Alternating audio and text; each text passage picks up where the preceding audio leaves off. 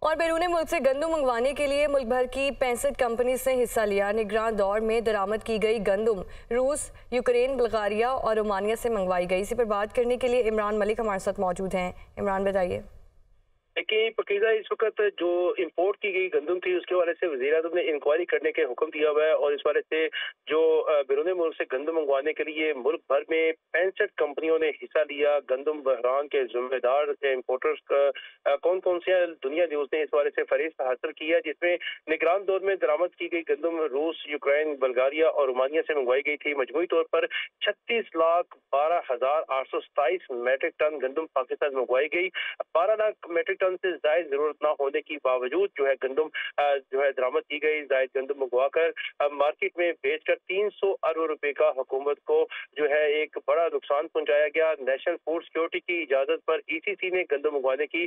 منظوری دی، اس والے سے اضافی گندم امپورٹ کی مانیٹرنگ نہ کرنے پر سیکٹری نیشنل فوڈ کو عہدے سے ہٹا دیا گیا۔ وزیر اعظم کے حکم پر، جبکہ اس والے سے اگر دیکھا جائے تو گندم امپورٹ کرنے والی جو چھوٹی بڑی پینسل کمپنی ہے جنہوں نے یہ گندم امپورٹ کی، جن کو زائد گندم منگوانے کی اجازت دی گئی جو کہ معاملہ دو ہزار تیئیس ستمبر میں شروع ہوا اور اکتیس مارچ تک یہ امپورٹ کی گئی جس میں اب چونکہ پنجاب حکومت بھی جو ہے اپنے کسانوں کو جو ہے وہ گندم ابھی تک جو ہے خریدنے کا دعویٰ تو کر رہی ہے مگر ابھی تک خرید نہیں سکی یہ وہ گندم ہے یہ وہ امپورٹ کی گئی گندم ہے جو کہ ابھی تک مارکیٹ میں موجود ہے جس کی وجہ سے انتالیس سو میٹرک ٹن گندم جو ہے وہ ابھی تک خریدی نہیں جا رہی پنجاب جی۔ حکومت کی طرف سے چونکہ مارکیٹ میں اس کا ریٹ جو ہے گندم کا فی من کے حساب سے اٹھائیس سو سے تینتیس سو روپیہ جبکہ امپورٹ جی جی ٹھیک ہے عمران آپ ہمیں ڈیٹیل سے آگاہ کرے تھے آپ کو بہت شکریہ۔